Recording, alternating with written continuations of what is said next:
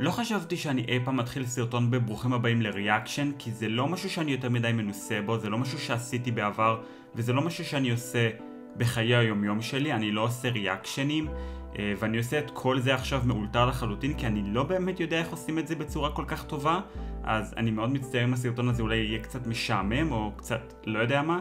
אגב, אני מצטער אם אתם שומעים רעש סטטי ברקע, פשוט חם מאוד ואני חייב מזגן, כי אחרת אני פשוט אמס פה בחדר. בכל אופן, ה reaction שאני רוצה לעשות הוא reaction על הביקורת הראשונה שלי. עכשיו, איך הגעתי בכלל למצב שאני מכין ביקורת על משחק? את האמת שזה היה סיפור מאוד מאוד מאוד חמוד. אה, אז ככה, באזור 2017 התחלתי להתעניין קצת בביקורות משחקים, תהיתי לעצמי איך זה יהיה להכין ביקורת על משחק, כמו המבקרים ב-IGN לדוגמה. זה, זה עוד כשהאמנתי ש-IGN זה מקור אמין לביקורות על משחקים, אבל עזבו את זה. אה, בכל אופן, באותו זמן יוטיוברית מאוד ותיקה פה בארץ שקוראים לה Game Gems העלתה סרטון שבו היא עושה מעין תחרות ביקורות שבו היא אומרת לאנשים תכינו ביקורת על משחק והביקורות הכי טובות יקבלו shout-out, הערוצים האלה יקבלו שאוט-אוט אה, ואז היא נתנה אני חושב איזה שבוע וחצי או שבועיים להכין ביקורת, אני לא זוכר בדיוק כמה זמן uh, ולשלוח את הביקורות האלה.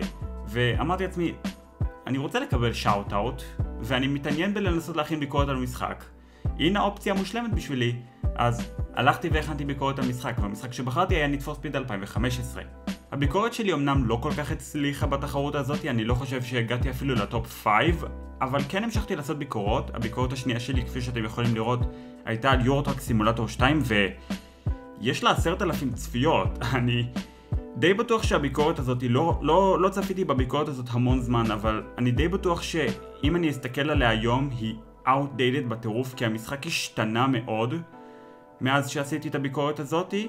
עכשיו מן הסתם ככל שעשיתי יותר ביקורת העריכה שלי השתפרה, ההגשה שלי השתפרה, הדיבור שלי השתפר, הכל השתפר, הכל עלה ברמה. באמת שאם נסתכל על הביקורות החדשות שעשיתי לעומת הישנות שלי זה יום ולילה וזה בדיוק מה שאני רוצה לעשות בסרטון הזה, אני רוצה לצפות ביחד איתכם בביקורת הראשונה שלי שלא צפיתי בה המון זמן ואני בקושי זוכר איך היא הולכת ומה מימו ובא לי לעשות את זה ביחד איתכם, בא לי לעשות ביחד איתכם ריאקשן לביקורת הראשונה שלי אחרי שלא צפיתי בה כבר כמה שנים לדעתי מאז שצפיתי בביקורת הזאת בפעם האחרונה. אוקיי, אנחנו מתחילים. ביקורת על המשחק Need for Speed 2015, הסרטון הוא 14 וחצי דקות, בואו נתחיל.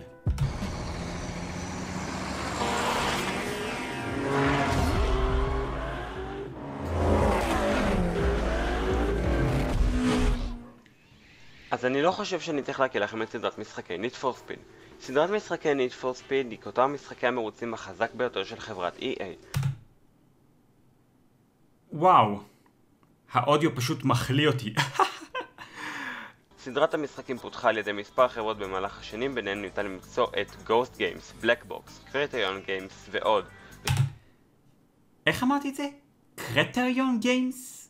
אני גם ממש נותן פה היסטוריה על כל הסדרה, כאילו זה, זה לא נחוץ להגיד את כל הדברים האלה, זה לא רלוונטי למשחק הזה, חוץ מזה ש Ghost פיתחו את המשחק הזה, אבל לא צריך להזכיר את Black Box ואת Criterion כי הם לא קשורים, Black Box כבר נסגרו בזמן שהמשחק הזה יצא, ו Criterion בכלל עברו לעבוד על Star Wars Battlefront באותו זמן, זה, הם בכלל לא היו קשורים ל Need for Speed 2015. אין טעם להזכיר את זה, אני לא עושה... אני לא עושה דוקומנטרי על ההיסטוריה של Need for Speed, אני עושה ביקורת על משחק אחד ספציפי בסדרה. אז המשחק Need for Speed 2015 פותח על ידי Ghost Games ושוחרר על ידי EA בתאריך 3 לנובמבר 2015. והמטרה העיקרית של המשחק הייתה להיות רימייק למשחקים הגדולים של הסדרה. תיקון? זה לא היה אמור להיות רימייק למשחקים הישנים, זה היה אמור להיות reboot לסדרה. עיקר ההשראה הייתה ממשחקי האנדרגראונד וניד פור ספיד קרבון. הדיונים משעממים ברמה שזה עצוב, והדמויות שטחיות ולא מעניינות. וחבל שהמפתחים התעצלו להכין עלילה מעניינת, כמו במשחק Need for Speed Most Wanted למשל. שם רוב העלילה אומנם מתמקדת בלהביס את כל 15 נהגי הרחוב של רוקפורט סיטי, אבל לפחות יש לכם סיבה הגיונית לעשות את זה, וגם יש לכם עסק עם אחד משוטרי התנועה הבכירים של העיר, קרוס, שינסה להוריד אתכם מהכביש וישלח כל הזמן שוטרים לחפש ולרדוף אחריכם. ולצערי הרב אפילו הסיפור של Need for Speed Hot Pursuit משנת 2010 יותר טוב מהסיפור הזה. ול-Need for Speed Hot Pursuit אין בכלל סיפור. מה? יצאתי ממש ג'נריק ניט פור ספיד פאנבוי שאמרתי שהם היו צריכים להכין עלילה כמו של ניט פור ספיד מוסט וונטד Need for Speed Most Wanted זה משחק טוב, כן. האם זה ה pinnacle של עלילה במשחקי Need for Speed? Hell no. ואז אני גם בא ואומר של Need for Speed Hot Pursuit הייתה עלילה יותר טובה? כשאין לו בכלל עלילה? מה, מה ניסיתי להעביר פה בעצם? אני לא מבין מה ניסיתי להעביר פה, שהעלילה של 2015 מיותרת. העלילה של 2015 היא לא מדהימה. ככל שעבר הזמן אני התחלתי להבין שיש לעלילה של 2015 איזשהו צ'ארם כזה, שאתם יודעים, זה לא חייב בדיוק להיות רעים מול טובים וכל הסיפור הזה, זה יכול להיות גם עלילה שאתם יודעים, כמה חבר'ה שמתגבשים ביחד, יש קצת קינה, יש קצת ריבים ביניהם, אבל בסך הכל הם כולם חברים, והם כולם עושים ביחד מרוצי רחוב, הם כולם מבלים ביחד, ו... ולא יודע, ואוכלים פיצה, ועושים דריפטים, ו... וחוגגים במסיבות, ופוגשים אנשים מפורסמים. זה כן משהו שהוא שונה מהנורמה, כי בדרך כלל העלילות, אה, אה, יש את הבחור הזה, לך תביס אותו. יש את הבחור הזה שהוא עשה לך משהו רע, אתה צריך עכשיו להשיג עליו נקמה. ו-2015 הוא כזה, היי, כולנו חברים, בואו נעשה כיף. זה נחמד. למי שלא יודע, המשחק משתמש במנוע Frostbite, שמביא את אחת מהגרפיקות היותר ריאליסטיות והיותר יפות שראיתי כל חיי כגיימר. אני חייב להסכים, המשחק הזה בהחלט נראה טוב, הוא בהחלט נראה ריאליסטי מאוד. במיוחד ב-2015, אני חושב שב-2015 זה היה אחד המשחקים עם הגרפיקה הכי טובה שהיו באותו זמן, באמת. אני לא חושב ש... אני חושב שב-2015 המשחקים היחידים שהיו יכולים להתחרות for Speed 2015 זה מן הסתם GTA 5 ו Driveclub. המוזיקה במשחק לא רעה, אם כי לא כל כך טובה לטעמי. במשחקים הקודמים בסדרה, בזמן מרוצים או כשאתם סתם הסתובבתם בעיר, הייתם שומעים שירים שהתאימו את עצמם בדרך כלל לסיטואציה שלכם במשחק. בדרך כלל בזמן שיעוט בעיר הייתם שומעים מוזיקות אלקטרוניות קלילות המשולבות עם רוק או מוזיקת ראפ, ובזמן מרוצים הייתם שומעים מוזיקה רועשת שמכניסה אתכם לאווירה של נסיעה במהירות גבוהה. אני מתכוון, זה היה ככה גם בניט פור ספיד 2015, כאילו, גם במשחק הזה המוזיקה מתאימה את עצמה לסיטואציה. בגראז' יש מוזיקה שהיא בדרך כלל יותר שקטה, יותר רגועה, יותר כזה צ'יל. וכשאתם יוצאים לעיר יש הרבה מוזיקה אלקטרונית שמתנגנת ברקע. נכון, אין יותר מדי מוזיקת רוק. רוב המוזיקה במשחק היא לא בהכרח מוזיקת רוק. אבל כן יש מוזיקה יותר אנרגטית במרוצים, ואני חייב להגיד שהסאונדטרק הזה לא רע. הוא, הוא, הוא מגוון מאוד. הוא בהחלט סאונדטרק מגוון מאוד, יש פה הרבה שירים, הרבה ז'אנרים, זה בהחלט סאונדטרק טוב. ברמת העיקרון הגיימפלי מורכב ברובו דריפטים. מערכת ההיגוי של הרכבים נתמכת בעיקר לדריפטים, ואתם תמצאו את עצמכם ברוב הפעמים, במקום לפנות בצורה רגילה, פונים באמצעות דריפטים, בגלל שזה יהיה לכם יותר נוח. כן, אני מסכים עם זה במאה אחוז, זה נכון מאוד. המשחק הוא pure break to drift. המשחק נטו break to drift. כמעט בלתי אפשרי לפנות במשחק בצורה רגילה, אלא אם אתם עם רכב ממש איטי, ואז אתם יודעים, מרוב שהרכב איטי לא יהיה לכם אנדרסטיר. המשחק בנוסף מתאפיין בחמישה מצבי משחק שונים, ואנחנו הולכים לעבור על כולם כדי לראות מה מאפיין כל אחד מהם. זו טעות. זו טעות כי היא סתם מורחת את הביקורת עם מידע לא חיוני. וזה משהו שאני למדתי ככל שהתקדמתי עם הביקורות. כי אני לא צריך להסביר לאנשים מה זה circuit racing או מה זה sprint racing. מה זה sprint racing? אתה נוסע מנקודה אחת לנקודה אחרת, מי שמנצח מנצח. מה זה drift ים? אתה עושה drift ים, וה drift ים מביאים לך נקודות, ומי שיש לו הכי הרבה נקודות, מנצח. אם יש במשחק game mode שהוא ייחודי למשחק הזה ואין אותו במשחקים אחרים, אז כן, אפשר להרחיב עליו. כמו לדוגמה, ב Split Second יש את ה game mode של ה survival שבו אתם אה, נוסעים ברכב ואתם צריכים לעקוף משאיות והמשאיות האלה זורקות עליכם חביות נפץ וככל שאתם עוקפים משאיות אתם צוברים עוד בונוס של נקודות וזה מעלה לכם את ה multiplier וזה משהו שאפשר להרחיב עליו כי זה משהו שיש רק ב Split Second. אני לא מכיר עוד משחק שיש בו game mode שבו אתם צריכים לעקוף משאיות שזורקות עליכם חביות נפץ. מצב המשחק השני הוא Style. מצב זה שם דגש בעיקר על עשיית drift ים ומרוצים שהם Gymkhana ו Drift Trials, שבהם המטרה שלכם היא או לסיים עם הכי הרבה drift points, או לעבור מכסה מסוימת של נקודות עד תום המרוץ בעזרת עשיית drift ים. אתם מבינים? זה בדיוק מה שאמרתי. מה זה דריפטים? אתה עושה דריפטים, צובר נקודות, מי שעשה הכי הרבה נקודות בסוף המרוץ, או אם עברת את מכסת הנקודות שהמרוץ מבקש ממך, ניצחת. זה הכי פשוט, וזה ככה בכל משחק. מצב המשחק החמישי הוא Outlaw. מצב זה שם דגש בעיקר על מרדפים ועל מרוצים בהם המשטרה מתערבת לכם באמצע ותנסה לעצור אתכם, או סתם בזמן שאתם מסתובבים לכם ברחבי המפה. עכשיו רואים פה אני דווקא נתתי פחות מדי הסבר. אם יש גיימוד שכן הייתי צריך להסביר בנפרד, זה המרדפים של המשטרה. כי זה משהו ש... כן, יש אותו בכמעט כל משחק Need for Speed שיצא לפני 2015, אבל זה עדיין משהו שהוא יותר ייחודי ל-Need for Speed והוא קצת משתנה ממשחק למשחק. כן הייתי יכול להסביר על זה קצת יותר. אה, אתם במרדף, יש את המשטרות, הן רודפות אחריכם מן הסתם, אה, יש את הטוטל פיין שזה מה שאתם משלמים אם תופסים אתכם, ההיט שלכם יעלה ככל שתהיו במרדף יותר זמן וכדומה וכדומה וכדומה. זה משהו שהוא ייחודי יותר ל-Need for Speed ואין את זה בהרבה משחקים אחרים וזה למה זה חשוב להסביר את זה, כי אם נגיד מישהו שמשחק משחקי פורזה שוקל לקנות ניט פור ספיד והוא צופה בביקורת על המשחק ושומע שיש מרדפי משטרה, הוא רוצה לדעת איך המרדפים האלה עובדים, מה המימו, על מה זה קורה, למה זה קורה, איך נמנעים מזה, מה אפשר לעשות נגד זה, אה, איך בורחים מהמשטרות, האם זה כיף, האם זה לא כיף. אנשים שבאים ממשחקים שאין בהם משטרות, רוצים לדעת למה לצפות. במהלך המשחק אתם תתנסו בכל חמשת המצבים ואתם תלמדו את כל מה שאתם צריכים לדעת על השליטה ברכב שלכם. המפה של המשחק בנויה בצורה נורא עצלנית. אלה המפות של המשחקים שיצאו בין הש... אוקיי, okay, קודם כל נתחיל מזה שהמעבר בין הנושאים היה פשוט נוראי. מדיבור על הגיימפליי, ואתם יודעים, הכל סביב הגיימפליי, ואז בסוויץ', פתאום, בבום, בלי הכנה, טוט, המפה של המשחק בנויה בצורה עצלנית. מה זה קשור?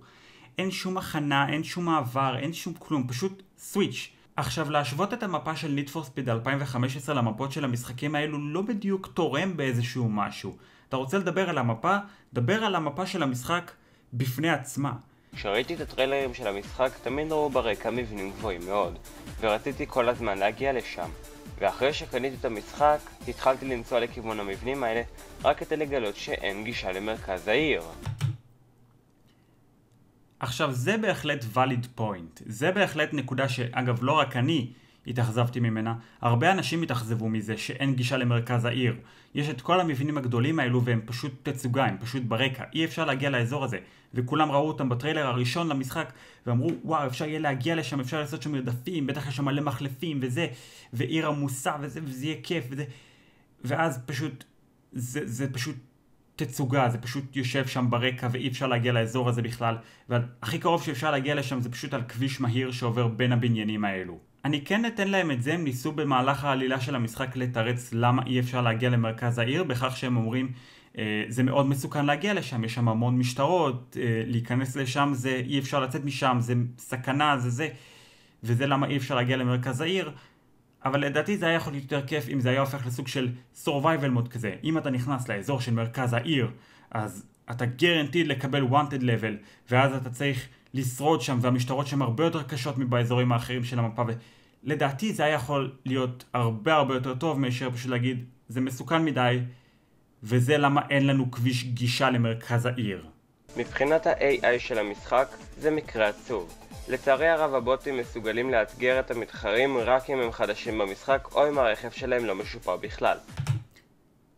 100% מסכים עם זה, עד היום ה-AI של המשחק הזה לא טוב בכלל, הוא לא מהווה אתגר, הוא לא קשה בכלל, לא המתחרים, לא השוטרים, זה AI פתטי, הוא על very easy, גם כשהוא על hard, זה, זה פשוט עצוב, ואני מסכים עם זה במאה אחוז, ורק בתחילת המשחק, כשהרכב שלכם לא משופר ועושה לכם טובה שהוא מגיע ל-150, אז כן, ה-AI יכול להוות אתגר. מעבר לזה, המשחק הזה, זה כאילו אתם משחקים על very easy.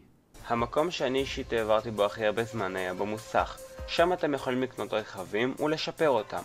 ולצערי הרב, הוויזואליות של הרכבים קצת לוקה בחסר, כאשר יש הרבה אופציות לשיפור, אבל אין מבחר גדול של חלקים לכל קטגוריה.